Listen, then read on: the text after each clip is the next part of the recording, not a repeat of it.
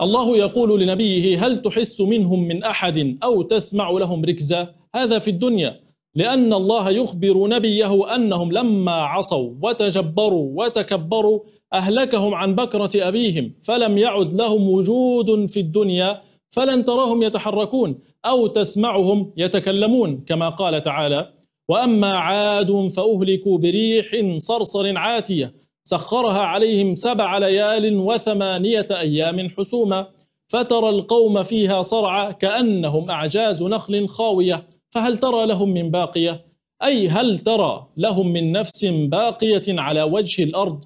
فكيف حولها المتحدث وقال أن المقصود بها أنه لا يسمعهم في قبورهم؟ لا أدري. فالكلام ليس فيه أي نفي لسماع النبي صلى الله عليه وسلم لعذاب القبر وسنفرض جدلا أن المقصود به أنه لا يسمعهم في قبورهم. فهذا طبيعي فسمع الإنسان محدود والنبي صلى الله عليه وسلم لم يسمع اللذان يعذبان في قبرهما إلا حينما مر عليهما واقترب منهما. فكيف سيسمع هؤلاء الذين يبعدون عنه عشرات ومئات الكيلومترات؟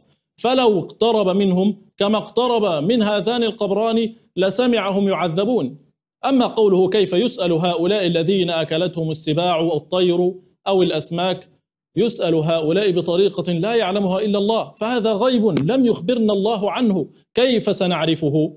وما نراه هذا هو ما يريده منكر السنة بالضبط. يطعنون في السنة لتنحيتها حتى يخلو لهم الجو فيفسر القرآن على هواهم وكما يريدون. وسنجده الآن عندما عجز عن نفي عذاب القبر من القرآن لجأ للاستهزاء.